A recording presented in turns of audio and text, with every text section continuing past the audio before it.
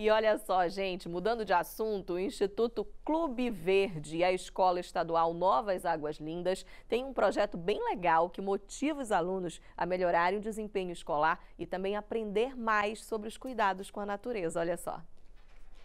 O Clube do Verde tem 28 anos de existência.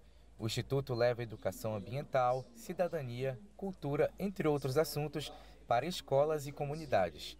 A parceria com a Escola Estadual Novas Águas Lindas começou em 2024, junto com um projeto desenvolvido pela instituição chamado Aluno 100%, que premia estudantes com bom desempenho. Lá em casa eu estudo, fico estudando um pouco assim. Aí quando chego na, na escola fico um pouco lendo o livro, os livros e fazendo as contas. Tá, os projetos eu faço lá em casa e trago feito e só apresento aí. Quase 400 alunos estão sendo ajudados com a parceria entre o Clube do Verde e a Escola Estadual Novas Águas Lindas. O tema da atividade dentro da instituição foi energias renováveis.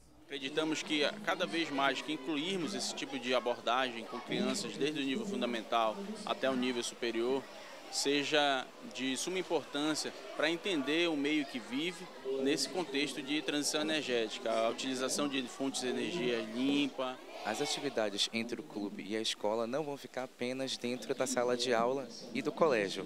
Os alunos vão conhecer também o Parque do Tinga e o Mangueirão projeto que visa premiar o aluno que tem um bom comportamento, uma boa frequência e um bom desempenho. As crianças se tornam agentes multiplicadores e disseminadores de todo esse projeto que nós temos de educação ambiental, conscientização ambiental.